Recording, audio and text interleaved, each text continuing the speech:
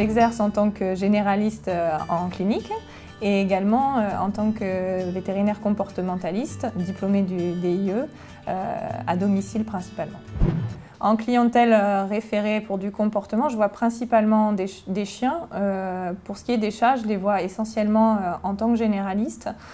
et les conseils comportementaux vont avoir lieu au cours des, consultations générales.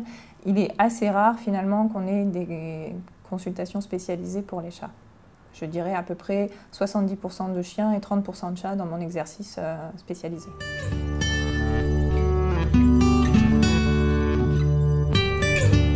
Alors les bases de l'équilibre euh, comportemental et émotionnel du chat vont être avant tout le respect de son environnement et d'une stabilité dans son environnement.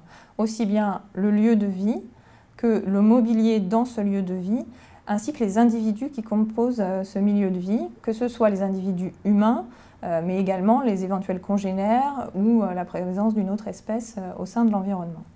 Par ailleurs, cet environnement, ce domaine vital du chat, doit comprendre plusieurs champs d'activité. Un champ d'alimentation bien délimité par rapport au champ d'élimination, et ça c'est essentiel et c'est une erreur qu'on voit fréquemment de mettre la gamelle à côté de la litière, et ça pose vraiment beaucoup de problèmes au chat, donc c'est à éviter. Par ailleurs, on doit trouver euh, des champs de repos, champs de sommeil, il peut y en avoir plusieurs, des aires de jeu, des cachettes, c'est également très important. Pour nos chats d'appartement, il est essentiel qu'ils aient également des points d'observation de l'extérieur. Une fois que ça, tout ça est à peu près stable et bien délimité, normalement, on va assurer euh, une stabilité émotionnelle pour le chat.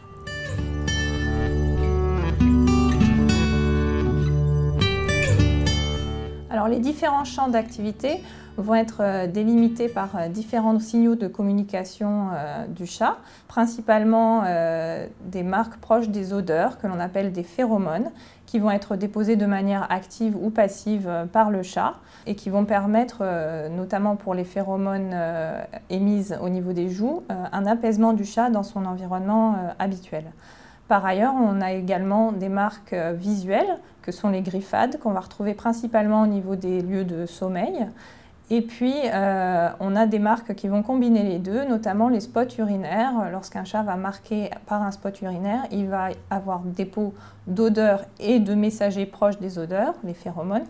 Et également, c'est un marqueur visuel puisque euh, les autres congénères peuvent voir le spot euh, déposé.